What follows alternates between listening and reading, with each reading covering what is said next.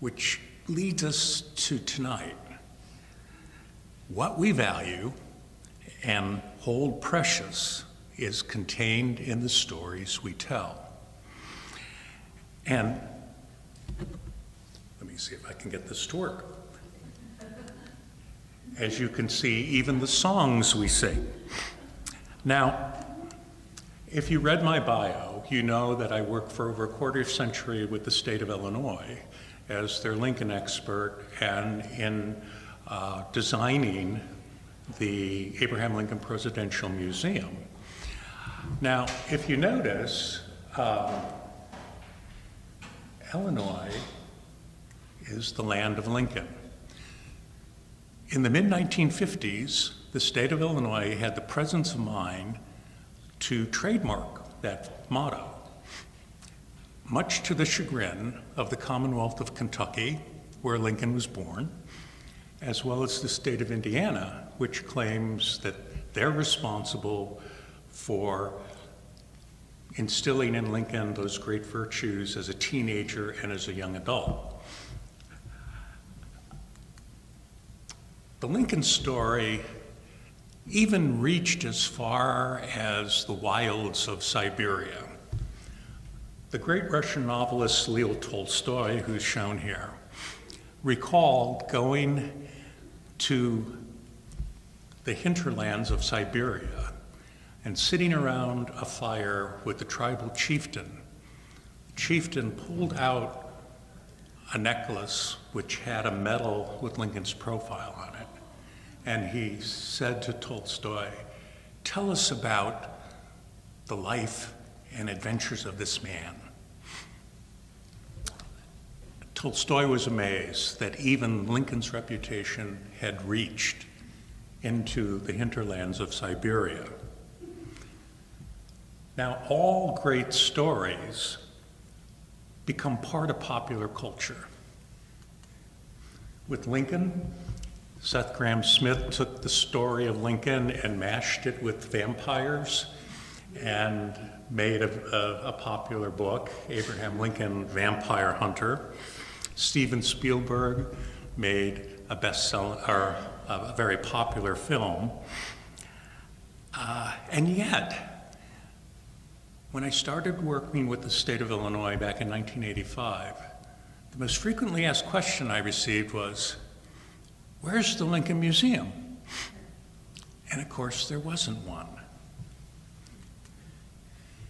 On April 19th, 2005, the museum finally opened to the public. To date, over 5 million people have gone through the doors to learn about Lincoln's life and legacy. Springfield is a town of about 117,000 people. And so it's also a significant uh, economic uh, incentive for the city. The question that I got when I decided to leave Lincoln for Hoover in 2011 was why? The, the implication being that I was actually trading down. and I explained to them, I said, you know, I'm not trading down. I said, at worst, it's a lateral I said, but really, it's trading up. I said, the Hoover story is every bit as big and powerful an inspiration as the Lincoln story, and global in impact, in many ways, even more so. The difference is people always tell the Lincoln story, they don't tell the Hoover story. Now, Hoover has a very modest museum uh, in West Branch. It's, he wanted it that way. Um, but the big difference is that in Illinois, they're proud. It's the land of Lincoln. The most frequent comment that I got when I came to Iowa, and when they found out what I did, they said, Oh, you know, I travel I 80 a lot, and I see the signs on the exit, but I've never taken it. I've never been there. So, if Iowa does not know or embrace the Hoover story, without telling the story, historical amnesia develops. And people forget how truly exceptional Hoover's life and achievements impacted not only 20th century America, but the world.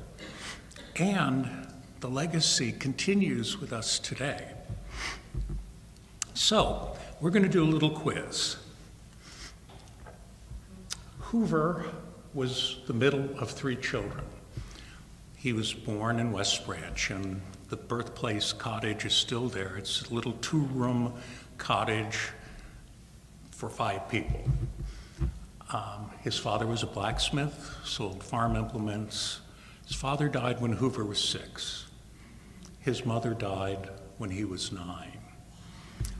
The family was sent to an uncle nearby who tried to keep the unit together but couldn't. And so at the age of 10, Hoover was sent to live with an uncle in Oregon who had just lost a son of similar age. So, in many ways, Hoover was kind of replacement labor for his uncle's uh, dead son.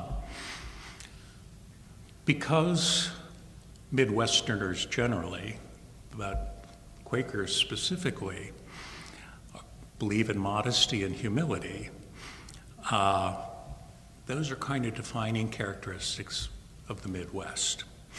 And my children always have to remind me that I'm from the Midwest. I should observe those.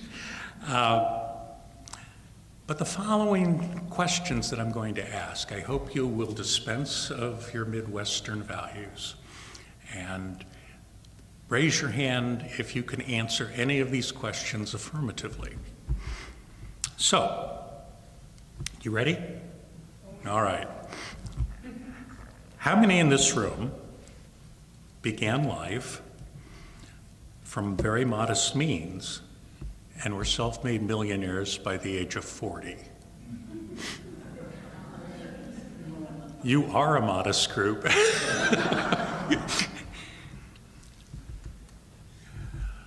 Herbert Hoover um, learned about this new university opening up in Palo Alto uh, called Stanford University. Leland Stanford made his millions in the railroad industry. Tragically, his son died, and so Stanford decided he was going to build a university as a living memorial to his son. And in order to encourage people to enroll, he offered free tuition to that founding class. Well, Hoover thought that that was too good a deal to pass up. And so he was part of the founding class at Stanford University, majoring in geology. When he was a senior, he met another person who enrolled as a geology major. She was from originally from Waterloo, Iowa, Lou Henry. Now, Lou Henry's uh, father was a banker and wanted a son and had two daughters. So the name Lou is somewhat intentional. And he took his daughters to go hiking, camping, fishing, to really love and embrace the outdoor life. When Lou enrolled uh, in the as a geology major, all of the boys thought, oh, she's not going to be able to handle any of the field work. Well, she ended up outdoing most of them uh, with uh, her skills and her endurance.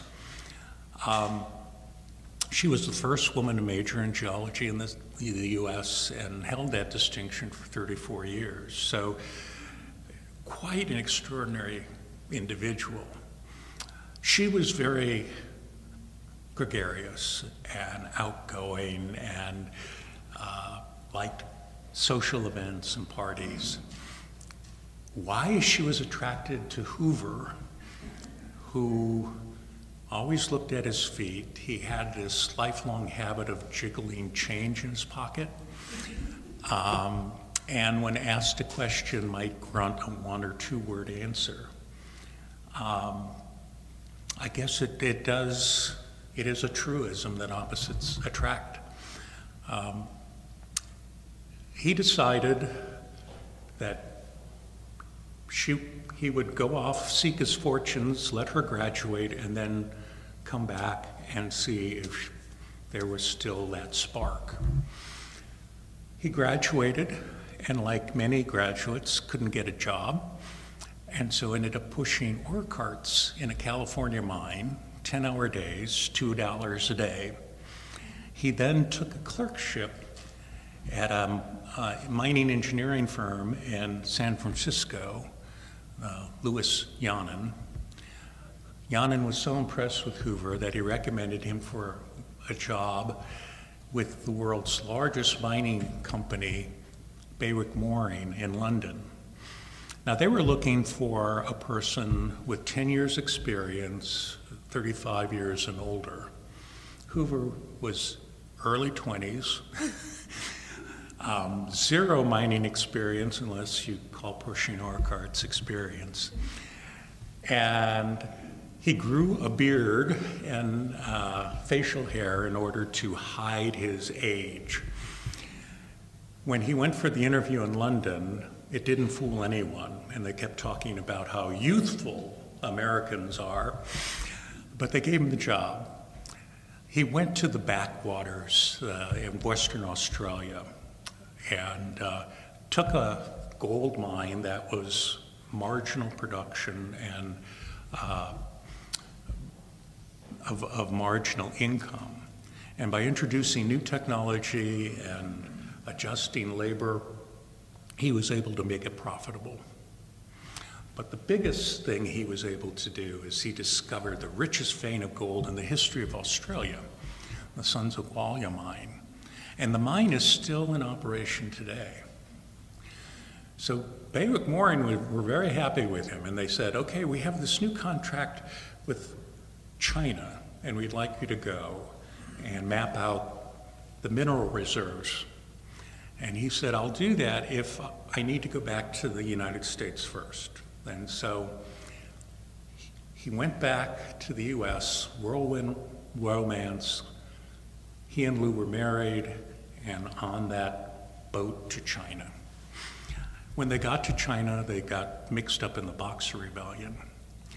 But from there on, Hoover kept going from one success to another for Berwick Moreing. He found an ancient silver mine in Burma that was still produce uh, that by adding new technology was able to extract um, tremendous amounts of silver, um, palladium, copper in the Ural Mountains. Hoover traveled six of the seven continents. Of all the presidents we've had, Hoover knew more about the world before he took office than anyone before or since, and probably than that we'll ever have. And understand where Hoover went and where he stayed and where he worked were not the fashionable capitals of these countries. The ore that was extracted was in the most remote and desolate parts of these countries. He knew and saw world poverty up close, and actually he shared in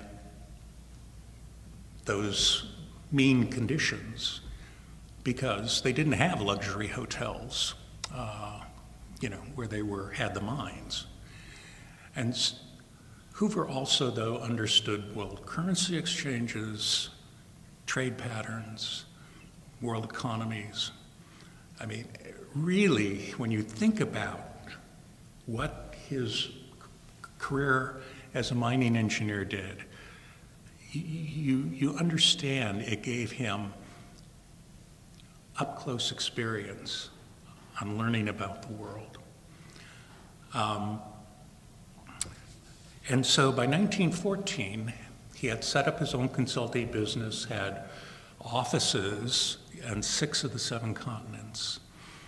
He and his wife um, calculated that they had traveled around the globe at least five times by 1914. They were both 40 years old. And their 10 year old son, twice. Um, and he was a multimillionaire, and then the war hit. So, second question. Of those multimillionaires out there at the age of 40, how many of you have devoted your lives and fortunes in pursuit of public service and philanthropy? Okay, so uh, we'll talk about the conscious decision made that, uh, that Hoover made in 1914 to essentially walk away from his fortune, put it in trust, and then spend the next, what would be 50 years, um, using, living off of his income in order to serve without compensation philanthropic causes and public service. Um, both the Hoovers, because of their experience in world travels and seeing um, poverty up close, but also seeing the effect that World War I had upon children. Um, they, they understood that children, in order to develop properly, needed a loving environment.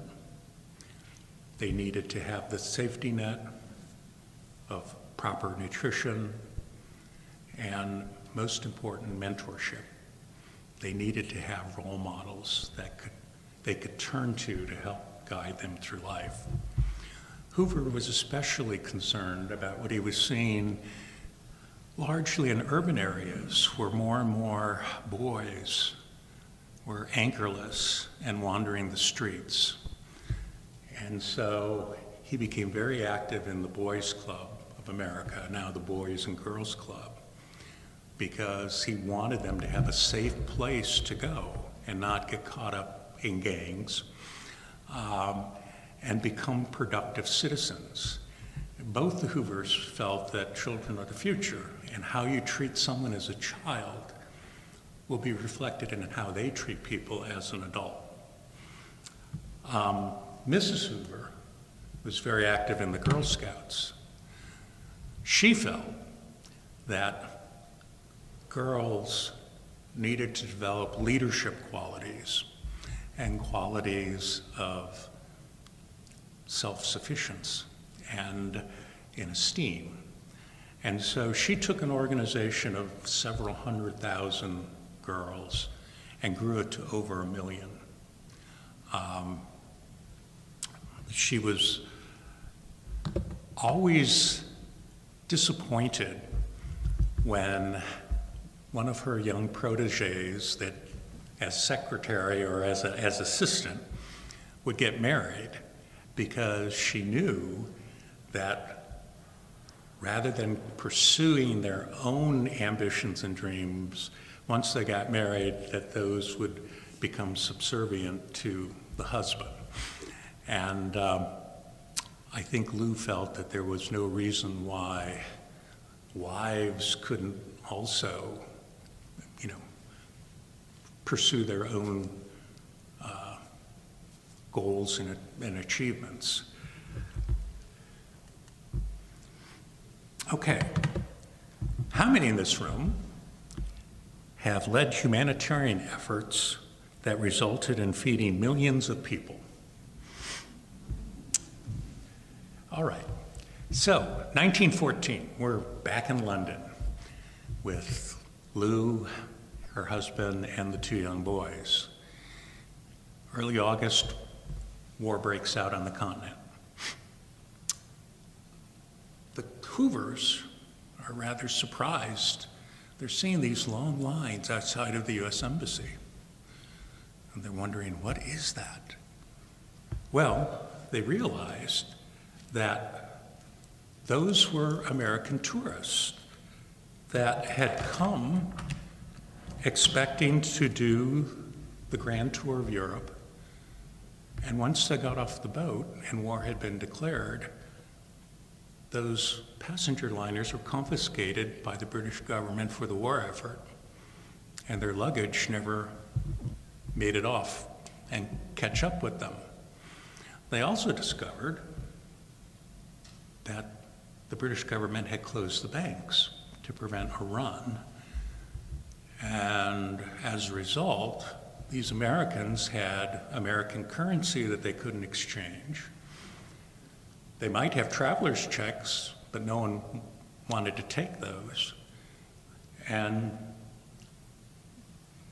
um, or letters uh, of currency. So th- these Americans often didn't have a change of clothing, they didn't have a place to stay, and they didn't have any money to buy food. When the Hoovers found out about it, Herbert Hoover called up friends, collected as much money as he could, and they went to the Savoy Hotel, which was the typical gathering place for Americans. From early August through mid October, Herbert dealt with the men, Lou, the women, and children. What do you need immediately? What's your immediate need? And simply on a handshake and a promise to repay, they were given money.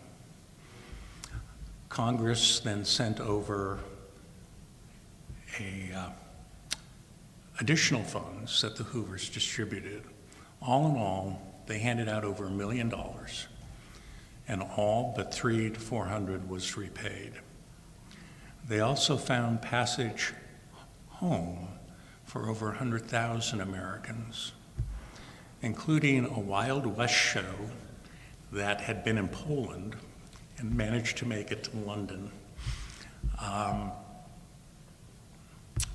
so once that crisis was over, Hoover sent Lou and the two boys home, and he planned to immediately catch up with them on the next boat. But one of his mining engineering friends showed up, a fellow named Millard Shaler. And Shaler said, You know, I married a Belgian woman. And the Germans, rather than invading France over the common border that they share with France, went through neutral Luxembourg and Belgium in order to try to quickly get to Paris. Now, the British and French were able to stop them before that, but not until the Germans occupied over 90% of Belgium and large parts of northern France. Now, in peacetime, Belgium being the most industrialized and densely populated country of Europe at that time, imported 80% of their foodstuffs. Once the Germans occupied most of Belgium, the British and French imposed an embargo. Food could no longer go into those parts.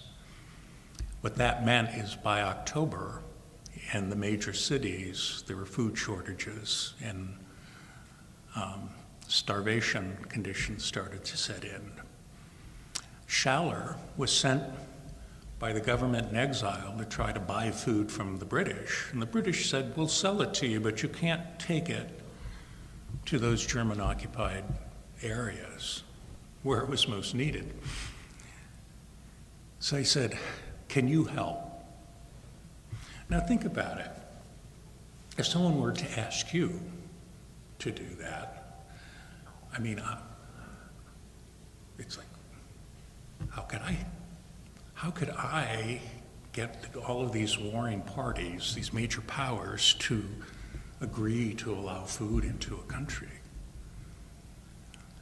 Plus, when you think about it, Hoover, with his mining career, could have made tons more money selling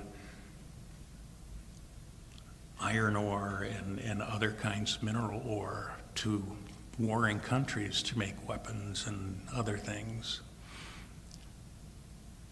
But Hoover said, let me, let me think about it. He woke up the next day and it was reported that he said, let the fortune go to hell.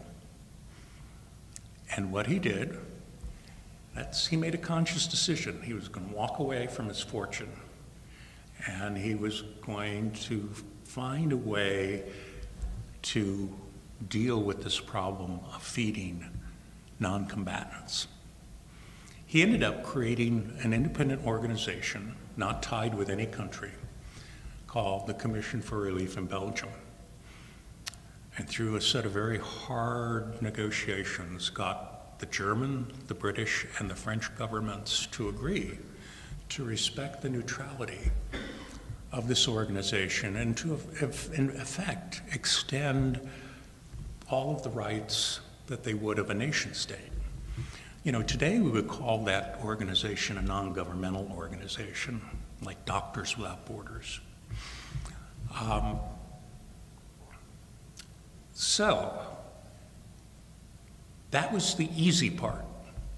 The hard part came was that Hoover had to raise the money to purchase the food, buy neutral ships to transport the food to Rotterdam. The Netherlands was a neutral country in World War I, and they agreed to transport the food from Rotterdam on canals and on railroads to the German occupied Belgium. There, the German army, along with members of the Commission for Relief in Belgium, inspect the food to make sure that there was no contraband. It would go in a warehouse, and then they worked with a national group, the, the National Committee in Belgium, of, and then also a similar organization in northern France, and the food then was distributed to about 1,200 different distribution points. All of the tin for canned meats and milk had to be recycled so that it wasn't turned into military armaments. Even the flour sacks had to be recycled. The Belgians took these flour sacks, and although they were intended to be used by Belgians to make undergarments, um, they ended up painting them and making these decorative thank you cards out of them. Um, and we have over 300 in the museum as an example. But Hoover realized that the best way to feed the most vulnerable in the population was to use the schools and essentially create a hot lunch program where soup, a Hoover roll were given which provided all of the calories and nutrients that uh, could keep a child alive for a day. Uh, he, for those that were malnourished, there was also something that he had created called a Hoover cookie. And I guess it would, today's counterpart would be a protein bar, right? It, it, it added kind of those extra calories and nutrients. Um, to, to help children that were undernourished. From 1914 to the end of the war, Hoover's Commission for Relief in, the, in Belgium fed between seven to eight million people. Now, after the war, uh, when the U.S. got involved in the war, Hoover had to turn the organization over to the Spanish ambassador, he, because he didn't want, again, that it to be seen that uh, his involvement um, somehow made it an arm of the United States, which had declared war against Germany. So when he came stateside, Woodrow Wilson put him in his cabinet to head the U.S. Food Administration. And it was Hoover's task to essentially get Americans to reduce their consumption of wheat, meat, um, sugar, and fats by 15% in order to provide it for the war effort, which he did. He went to Versailles with President Wilson and realized that there were huge post war problems in providing nutrition uh, to the defeated countries. Here you see Polish children holding their containers for food. Hoover headed up the American Relief Administration, which essentially provided food, medicine, and clothing to uh, post World War I countries in need, um, to Russia during the famine of 1920 to 23, um, and then during World War II at the beginning, he tried to provide food relief efforts to Poland and Finland. And then after World War II, Harry Truman reaches out to the 72 year old former president and said, I need your help. I need you to do a post war assessment of food needs. So the 72 year old pre- uh, former president says, I'll do it. Truman gives him this transport plane named the Faithful Cow, and Hoover goes to 38 countries in 50 days to do his assessment uh, of post war needs. All in all, a conservative estimate puts Hoover's total food relief efforts from that period of 1914 to his death in 64 at nearly 100 million people. So, how many in this room in your respective careers have created standards for your line of industry? So Hoover is shown here as Commerce Secretary. Warren G. Harding offered Hoover his choice Secretary of the Interior or Secretary of Commerce. Now, most of us would choose Secretary of Interior because that means the national parks, right? And who doesn't love to visit the national parks? And Hoover, being a great fisherman, you know, that he really would have loved that. But being Hoover, he picks commerce, which had the reputation of being the sleepy, government bureaucracy that really didn't have a reason for being. Hoover takes it and turns it into a dynamo. What Hoover understands long before most people is that America, the American economy, and the American way of life was, was undergoing a transformation. It was going from a rural uh, based economy to an industrial based economy. It was also with Henry Ford's invention of an affordable automobile. And Ford was paying his workers $5 a day, eight hour days, five days a week. So, what did that mean? It meant that Americans had more disposable income, they had more leisure time, and they had mobility. They were no longer bound by their little community. They could get in their car and go. And because Ford allowed people to purchase cars on time payments, that was a big innovation because it also allowed people to buy major appliances like washing machines so all of these labor-saving devices were, were really transforming the way people live their lives. And Hoover understood that. what he also realized is that, you know, if industries would just sit, sit down and create standards for that industry, it would eliminate a lot of waste in the industry. It would lower the costs of their goods to the public. And it would also eliminate the confusion that consumers would have in what they needed to buy. For example, there were 42 different size milk containers when Hoover took over as Secretary of Commerce. By the time he got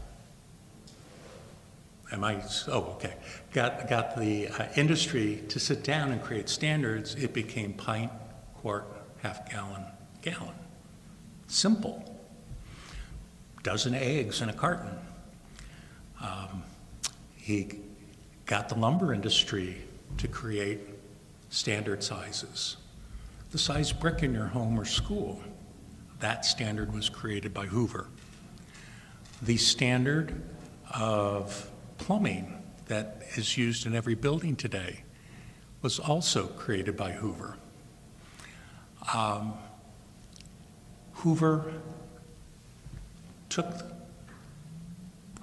regulated the radio airwaves so that radio signals weren't stepping on one another.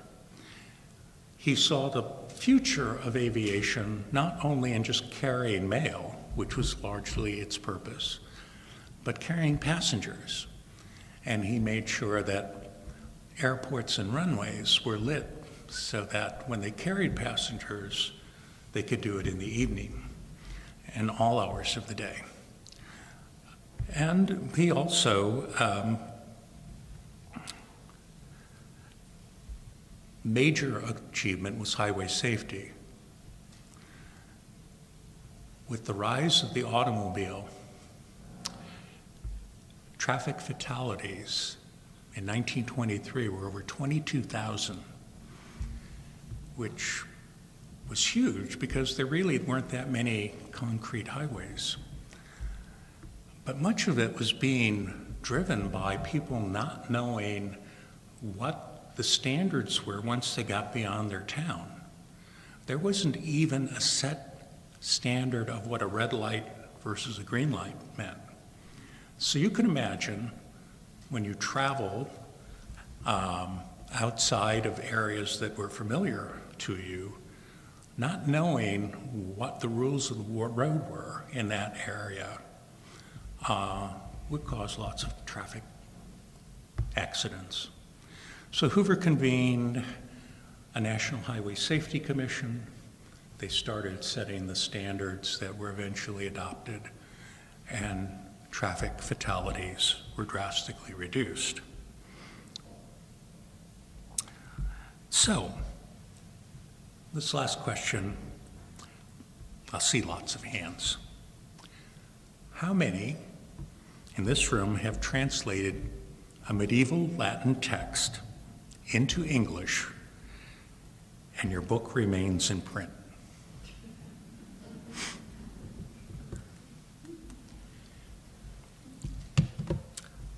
So, again, just to give you a sense of the intellectual curiosity of these, of Herbert and Lou Hoover, both were geology majors. One of the classic reference books was a medieval Latin text, De Re Metallica. Georgius Agricola was actually a German who Latinized his name. And of course, in the Middle Ages, all learned books were in Latin. That was the language of scholars. Herbert Hoover had no language skills. Um, we know that he took German at Stanford and he would have flunked if he hadn't dropped the course. Lou, however, was fluent in at least five languages, Latin being one of them. So what they decided to do is they would take this and translate it into English because there was really no good English translation that existed. It took them five years, five to seven, depending on how you count, They published it in 1912, and they spent over $20,000 in this little project. Now, why so much? Well, Lou need, got some help with the translation, but um, more importantly, they wanted to produce a book, their version of the book, that looked exactly like the 1556 version. So they tracked down a paper maker in London so that they could make the paper the way that it was made in 1556. They hand sewed the pages. They reproduced all of the woodcuts. And then they made the binding out of vellum or sheepskin. They didn't sell many. They gave most of them away. And if you got one of these from the Hoovers that was inscribed by them, it was really something. And it's never been out of print since 1912. You can still buy a Dover reprint edition. So, with all these accomplishments, why aren't Iowans telling the story? Why aren't they singing his praises? Well, a little thing called the Great Depression.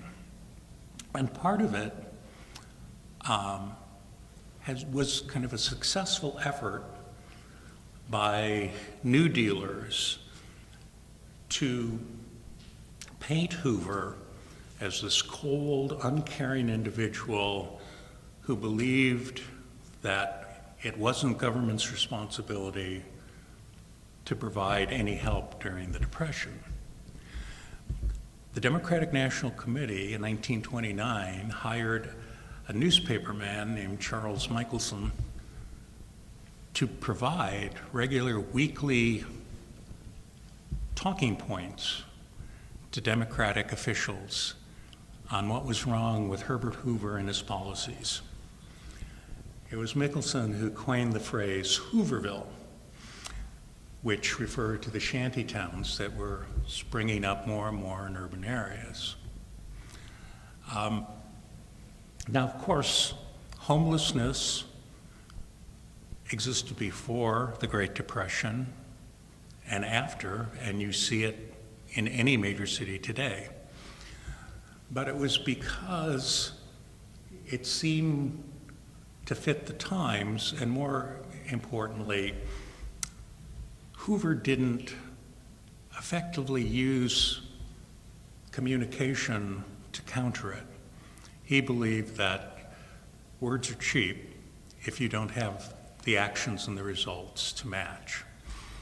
And so as a result, the very popular notion of Hoover as being uncaring and um, a failure has lasted for far too long. Now, of course, historians are very good at examining records, and they've realized that Hoover was not responsible for the Great Depression, and that really the, the consensus, if there is any, indicates that the Federal Reserve failed to lower interest rates and to stimulate the economy until it was too late, until what should have been a recession had become a depression. But the other thing is, we call it the Great Depression because most people tend to identify it with the stock market crash in October of 29. And it goes all the way through the end of World War II. It wasn't only Hoover's depression, it was others. And the valuation of the stock market didn't reach its pre depression rates until the early 1950s, which again shows how deeply rooted and systemic the problem was. So, how do we overcome this negative image? Well, we do a lot with kids. We have pre-K and K uh, reading books about the presidency. We have fourth and fifth grade school tours because Herbert and Lou Hoover's lives closely identify with science, technology, engineering, and math, which is very popular in school.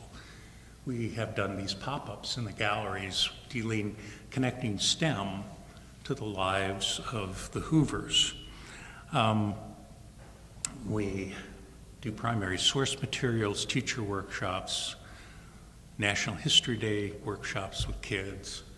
Um, we also do author talks, partnerships, uh, and probably the most exciting thing that we're doing currently, our foundation is undertaking um, a project to raise the money to completely renovate our permanent museum galleries so that we can use the technology of the 21st century to reach a 21st century audience so that they can learn how to live an uncommon life and to provide a life of service to community and uh, make positive change.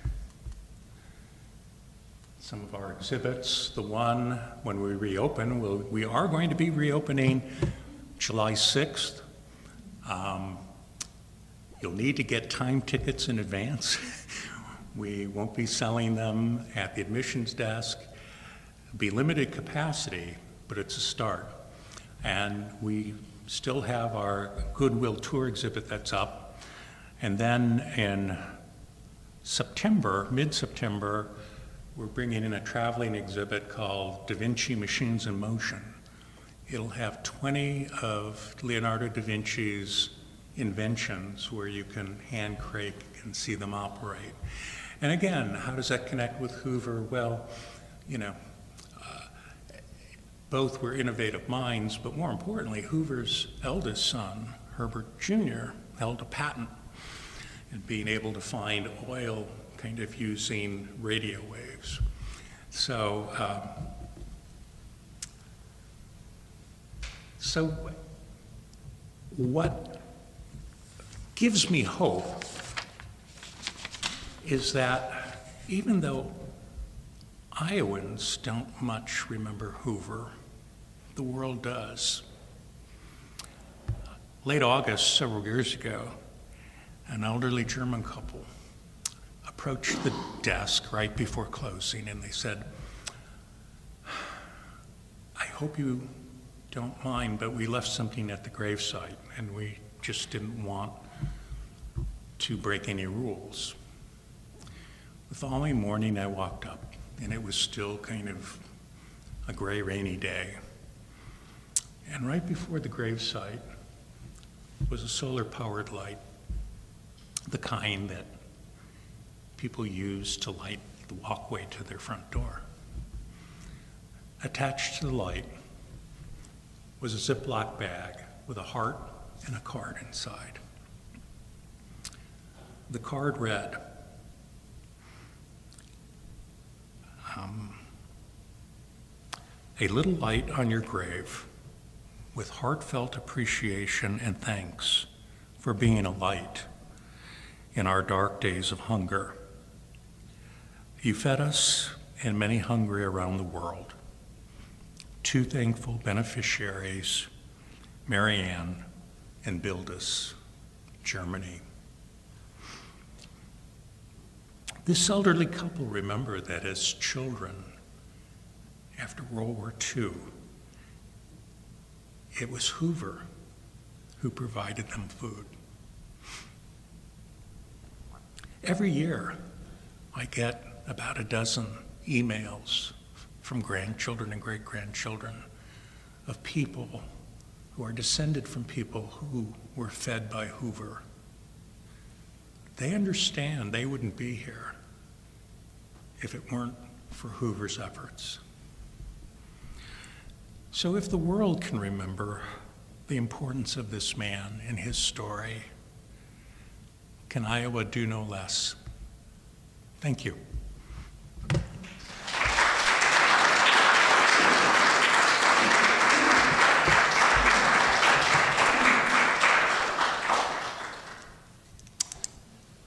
Yes, How did Hoover keep his wealth intact so he could continue his philanthropy through the Depression? So the question was, how did, how was Hoover able to keep his wealth intact to get him through the Depression, correct? So in essence, he put many of his assets in like a receivership, a trust. So he still kept an interest, for example, uh, in some of his mining operations. Only he didn't oversee the day-to-day operations. It was the trustee. Um, and his fortune wasn't, it waxed and waned with the economy. Um, you know, there are letters of Lou talking about, Daddy says we need to economize. Well, you know, I, I- when I think about it, I'm thinking, okay, so, you know, instead of three trips abroad, maybe just two. I mean, I- but you, you do get a sense from both the Hoovers that um, they really didn't care about money.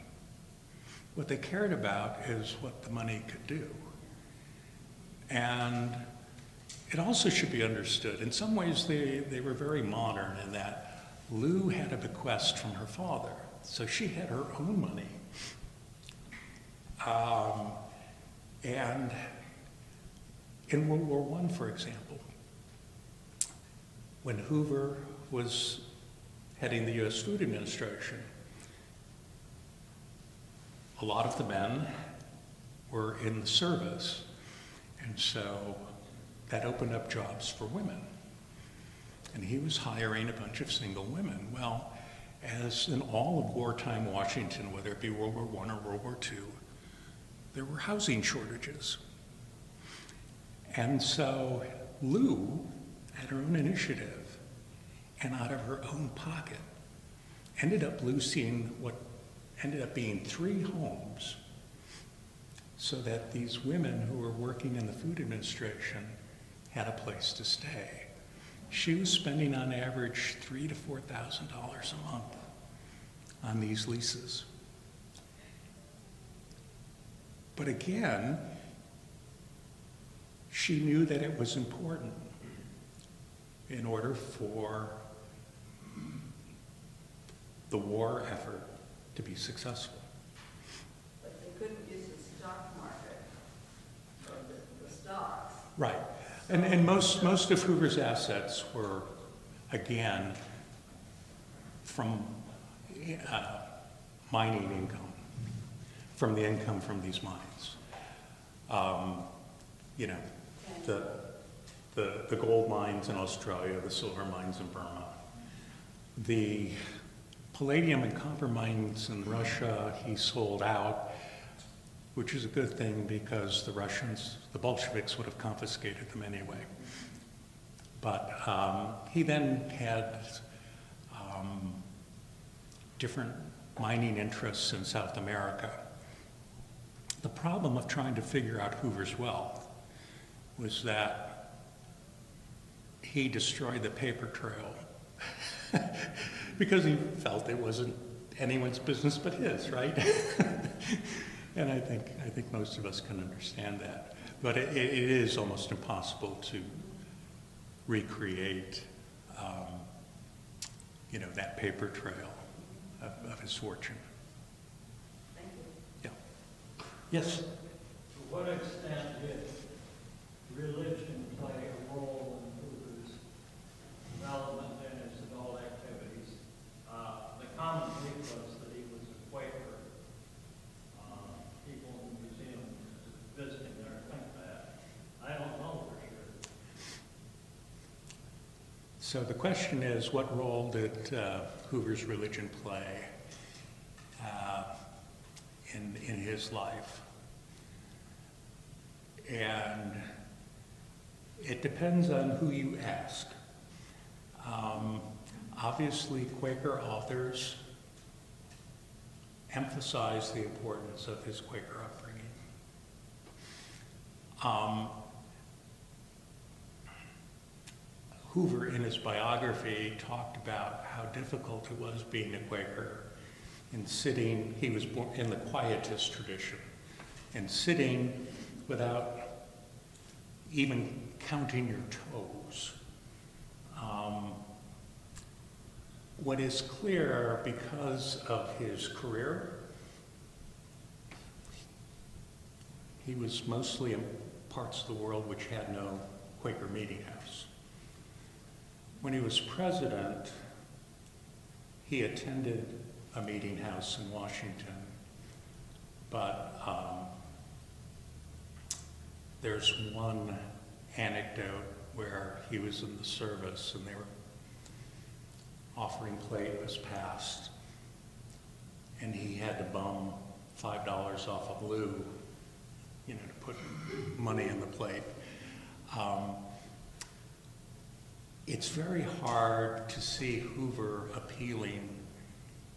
He talks about being brought up a Quaker, but it's very hard to see how that actually influenced his actions as a, uh, in, in any of his capacities as a public servant, as a philanthropist and the like. Um, But it's a quietist tradition, right? It's the inner light.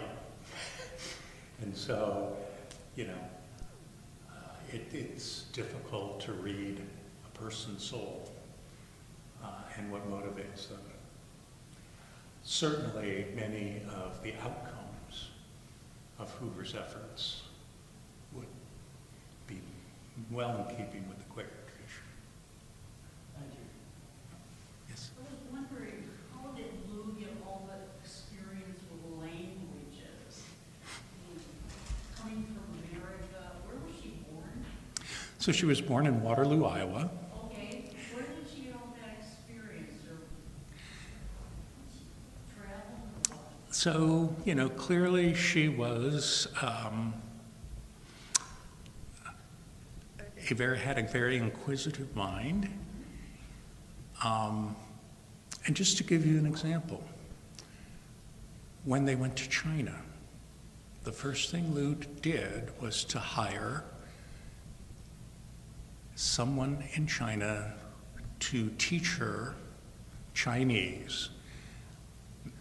Now, I always thought Mandarin, but someone from China corrected me and said, no, Mandarin wasn't codified until later. And so it was one of, you know, dozens of different dialects, local dialects. But she was also taught how to write Chinese characters. And she actually became very fluent in Chinese. Now, on the internet, you see that Lou and Herbert Hoover would often speak Chinese to one another in the White House so people didn't know what they were saying. No. Um, Hoover knew enough pidgin Chinese to get him by in, in, in, in dealing um, with certain requests.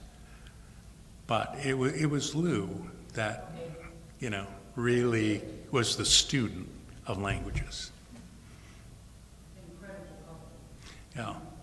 And what, what- what's also interesting is that, you know, because of the way they had to travel, um, which was by boat, they had a long time.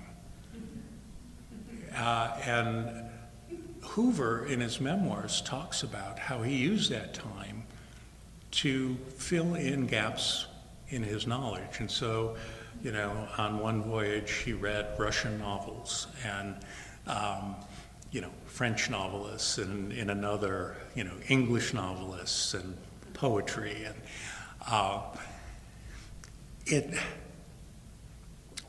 when you talk about these people as being self-made, it's more um, not materially, but kind of a conscious effort to make them their their their character and you know their moral fibers richer and, and more fulfilling. And I mean, you, you you see this, and and again, their their attitude toward children.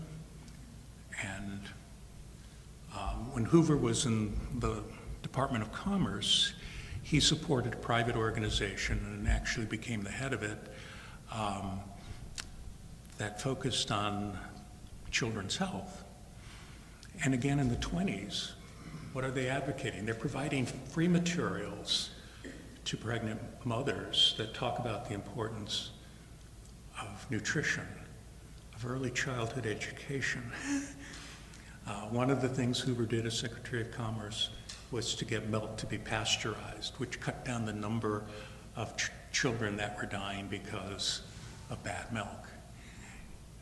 Um, eh, and, and, and so, again, it, it's, you know, part of the, the wonder of education and of exploring the world.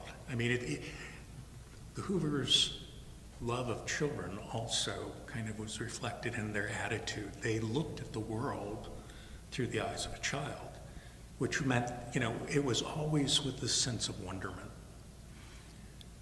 And when you look at the world that way, you never tire of it, right? You only see more possibilities. And I, both of them were like that. I mean, they, they, their dying days, they were still thinking about what could be done.